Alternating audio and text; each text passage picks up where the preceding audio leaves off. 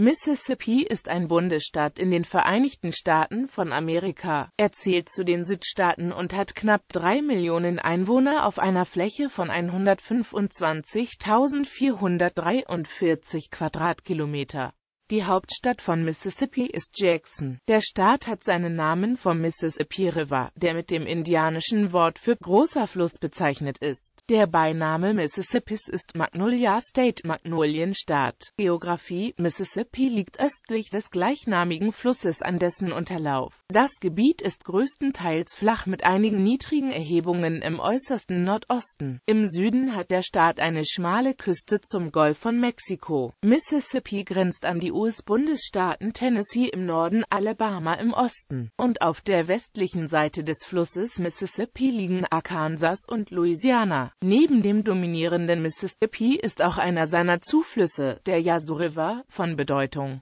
Gliederung Liste der Countys in Mississippi Klima Mississippi kann in die subtropische Zone eingeordnet werden, mit milden Wintern und sehr warmen Sommern. Im Sommer ist die Niederschlagsmenge größer als im Winter, für bleibenden Schnee ist es im Winter zu warm. Bevölkerung Mississippi hat 2.967.297 Einwohner, davon sind 57,3 Prozent Weiße, 37,5 Prozent Schwarze und Afroamerikaner, 0,6 Prozent Indianer, 1,0 Prozent Asiaten, 3,0 Prozent Hispanics Mississippi ist der Bundesstaat mit dem höchsten Anteil Schwarzer. Die Lebensbedingungen der Einwohner von Mississippi sind im Vergleich zu anderen Bundesstaaten eher schlecht. In den Bereichen Armut, Zugang zu guter gesundheitlicher Versorgung, Bildung und Lebenserwartung belegte der Bundesstaat 2009 den schlechtesten Platz innerhalb der Vereinigten Staaten. Einer von fünf Menschen lebt unterhalb der nationalen Armutsgrenze, die 2010 bei 22.000 US-Dollar für eine vierköpfige Familie lag.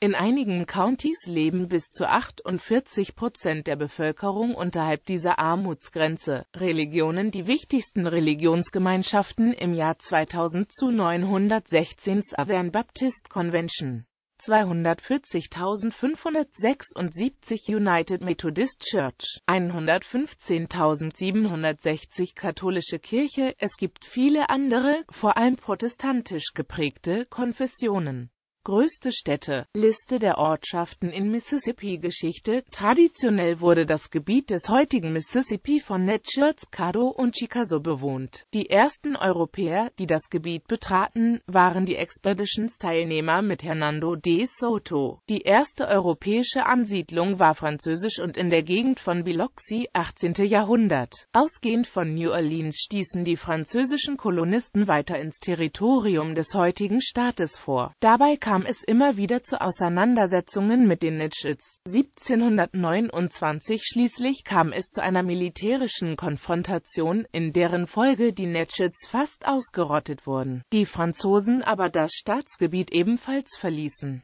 1763 kam das Gebiet östlich des Mississippi River an Großbritannien. Die südliche Gegend profitierte ökonomisch noch stark von den Franzosen in New Orleans. Sie brachten ebenso die Holzindustrie in die Gegend wie Viehzucht, viele Früchte, Reis, Tabak, Indigo und eine bestimmte wertvolle Baumwollart, die ursprünglich aus Yam stammte. Aus ihren karibischen Kolonien brachten die Franzosen auch das Plantagensystem mit Sklavenarbeit ins Land. Größere Siedlerzahlen kamen aber erst mit den Briten nach Mississippi. Zuerst bekamen Veteranen des Franzosen- und Indianerkriegs dort Land zugesprochen. Es handelte sich also von Anfang an um eine Migration aus wirtschaftlichen Gründen von Menschen mit einem größtenteils mittelständischen Hintergrund. Die Siedler gründeten als erste Stadt Natchez. Infolge des von den Siedlern in Mississippi größtenteils abgelehnten amerikanischen Unabhängigkeitskrieges fiel das Gebiet an Spanien. Die spanische Krone wollte ihren Einfluss sichern und gewährte den Siedlern der Gegend deshalb viele Privilegien, Steuerfreiheit, einen festen hohen Preis für angebauten Tabak und eine großzügige Landvergabe an Neusiedler. Die Siedler reagierten darauf indem sie erstmals nennenswerte Mengen an Sklaven anschafften und sich gleichzeitig im Vertrauen auf die hohen Tabakpreise verschuldeten. Als die Tabaksubventionen schließlich eingestellt wurden, sahen sich die meisten Siedler von plötzlicher Armut bedroht. Erst nach diversen Experimenten kamen sie darauf, im großen Stil Baumwolle anzubauen, die schließlich zur bestimmenden Ertragsbasis der Südstaatenökonomie werden sollte. Begünstigt wurde der Erfolg zum einen durch die Erfindung der Egrenier-Maschine durch Eli Whitney, zum anderen durch schwere Sklavenaufstände und Russell Monroe, die den primären Produzenten der damaligen Zeit, Santo Domingo, lähmten. Um 1800 hatten die meisten Plantagen im südlichen Mississippi auf Baumwolle umgestellt. Präsident Andrew Jackson vertrieb die Muskogee, die Chickasaw und die Choctaw, die noch im Staat lebten. Auch im Norden und Osten Mississippis wurden auf diese Weise große Flächen zur Besiedlung durch Europäer frei. Fast alle Siedler waren bereits vorher in den USA angesiedelt. Sie hofften in Mississippi auf ein wirtschaftliches Weiterkommen durch freies und sehr fruchtbares Land im Staat sowie durch die Anbindung an den Mississippi River und damit auch an die europäischen Märkte. 19. Jahrhundert. Der Staat Mississippi wurde am 10. Dezember 1817 als 20 Staat in die Union aufgenommen. Vor dem Bürgerkrieg war Mississippi der größte Produzent von Baumwolle in den USA. Als Folge der gewaltsamen Indianervertreibung erlebte Mississippi in den 1830er Jahren einen Wirtschaftsboom. Dieser Aufschwung wurde zusätzlich noch durch den schuldenfinanzierten Ausbau der Verkehrswege befördert. 1840 war die Staatsverschuldung Mississippis daher deutlich angestiegen. Auch wenn die Schuldenstandsquote von 16 Prozent der Wirtschafts Wirtschaftsleistung deutlich niedriger lag als etwa in Florida mit 77 Prozent, meldete Mississippi 1840 infolge der Wirtschaftskrise drei Jahre zuvor Staatsbankrott an und bediente seine Staatsanleihen nicht weiter. Am 9. Januar 1861 sagte sich Mississippi als zweiter Staat nach South Carolina von der Union los. Jefferson Davis, der Präsident der Konföderierten Staaten von Amerika, war Bürger Mississippis. Bis heute spielt dieser Teil der Geschichte eine wichtige Rolle in der Selbstwahrnehmung. In Mississippi fand 1863 die Schlacht um Vicksburg statt. In Vicksburg, das sich am 4. Juli den Unionstruppen ergeben musste, wurde der Unabhängigkeitstag bis lange nach dem Zweiten Weltkrieg von den meisten Einwohnern und von einigen bis heute nicht gefeiert. Erwähnenswert ist, dass Mississippi den 13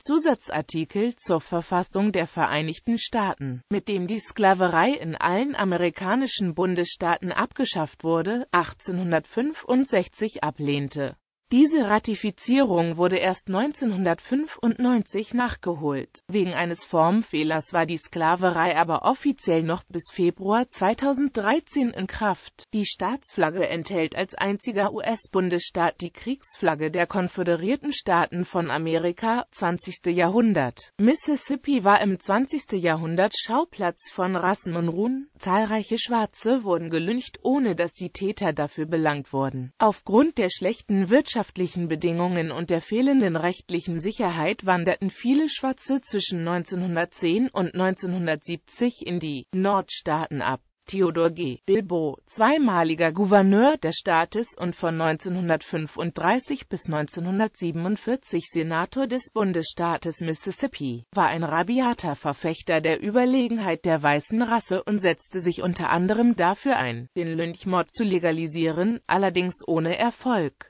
Ebenfalls äußerte er sich antisemitisch. 1956 wurde das Southern-Manifesto aufgesetzt, ein Protestschreiben gegen die Rassenintegration, das auch von zahlreichen Politikern Mississippis unterschrieben wurde. Im Zusammenhang mit den Morden an drei Bürgerrechtlern fanden die Behörden weitere Leichen ermordeter Schwarzer in Neshoba County. In diesem Zusammenhang weigerte sich der Gouverneur Mississippis Paul B. Johnson Jr. mit den Behörden zusammenzuarbeiten arbeiten und verdächtigte die vermissten Aktivisten, irgendwo auf Kuba zu sein. 1962 kam es zu Unruhen, die als Ole Miss Riots bekannt wurden 1966 widerrief Mississippi als letzter Staat in den USA die Prohibition. Mississippi blieb aus Sicht der Kämpfer für die Gleichberechtigung einer der rückständigsten Staaten. Erst 1967 wurde Mississippi durch den obersten Gerichtshof dazu gezwungen, als einer der letzten Staaten der USA das Verbot der Machine aufzuheben. Am 17. August 1969 traf der Hurrikan Camille auf die Küste Mississippis und hinterließ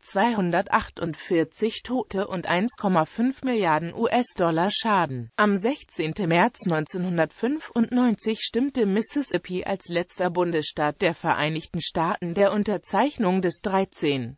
Verfassungszusatzes zur Abschaffung der Sklaverei zu. Die offizielle Ratifizierung fand am 7. Februar 2013 statt 21. Jahrhundert. Ende August 2005 löste der Hurrikan Katrina enorme Zerstörungen aus, die noch über viele Jahre Folgen haben sollten. Politik Der Staat Mississippi wird von vielen Ostküstenamerikanern als The Lost South bezeichnet. Der Staat im tiefen Süden hat das geringste Pro-Kopf-Einkommen aller US-Bundesstaaten, allerdings auch die geringsten Lebenshaltungskosten. Der aktuelle Bericht des American Legislative Exchange Council zu den wirtschaftlichen Aussichten der Bundesstaaten sieht Mississippi auf Platz 10. Mississippi gilt politisch wie auch gesellschaftlich als konservativ. Nach einer Umfrage des Gallup Organization ist Mississippi der konservativste aller US-Staaten. 50,5 Prozent der Befragten bezeichneten sich als konservativ.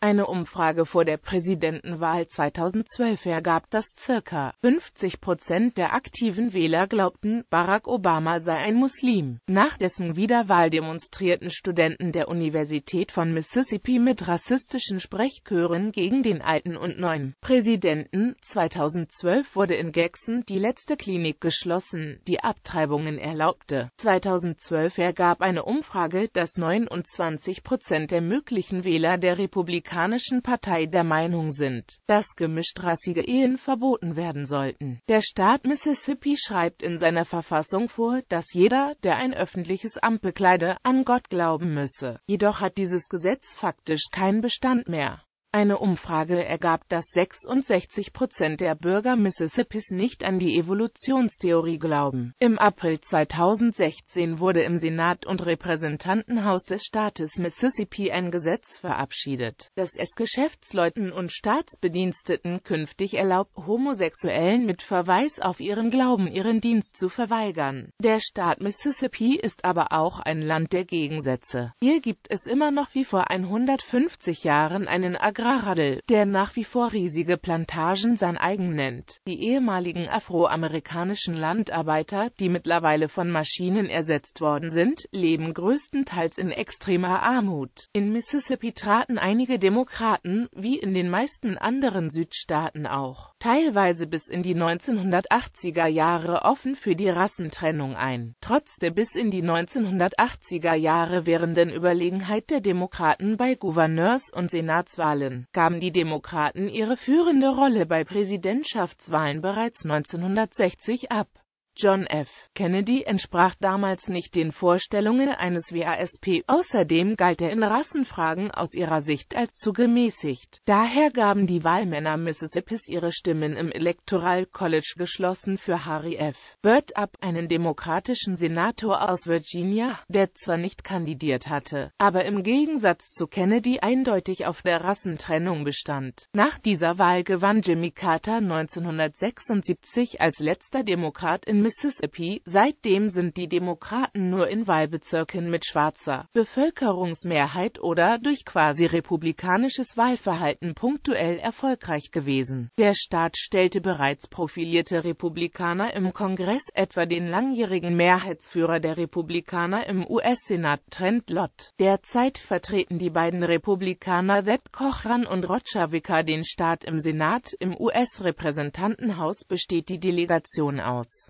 Mississippi im 114. Kongress aus drei Republikanern und einem Demokraten. Im Electoral College stellt Mississippi seit 2004 sechs Wahlmänner. Davor waren es 1960 acht und zwischen 1964 und 2007 Wahlmänner. Gouverneure Liste der Gouverneure von Mississippi Liste der Vize-Gouverneure von Mississippi Kongressliste der US-Senatoren aus Mississippi Liste der Kongressabgeordneten aus Mississippi Todesstrafe In Mississippi kann die Todesstrafe verhängt werden. Die letzten Hinrichtungen fanden 2012 unter Gouverneur Phil Bryant statt. Anzahl der Hinrichtungen Bildung Die wichtigsten staatlichen Universitäten in Mississippi sind die Mississippi State University in Starkville, die University of Mississippi in Oxford sowie die University of Southern Mississippi in Hattiesburg Wirtschaft und Infrastruktur Mississippi ist das wirtschaftliche Schlusslicht der USA. Das reale Bruttoinlandsprodukt pro Kopf lag im Jahre 2006 bei 24.062 Dollar. Wichtige Wirtschaftszweige sind Anbau von Baumwolle, Mais, Weizen, Reis, Sojabohnen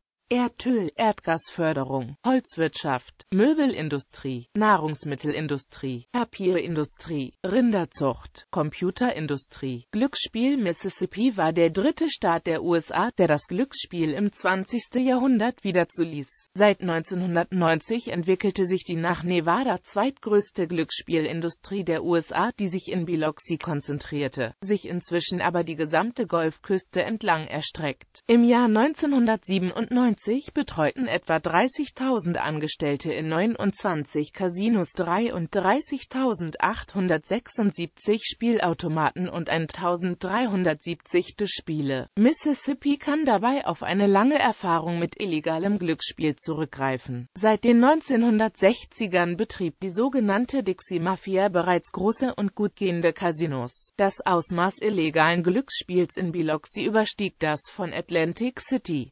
Seit 1990 ist das Glücksspiel auf Schiffen legal. Die Schiffe müssen dafür an einem Kai festgemacht sein und selbst tätig schwimmen. Echte Seetüchtigkeit hingegen ist nicht vonnöten. Den Schiffen ist es sogar verboten, sich loszumachen. Hurricane Katrina allerdings traf die Bootscasinos so schwer, dass sich die Industrie seitdem immer noch in einer Erholungsphase befindet.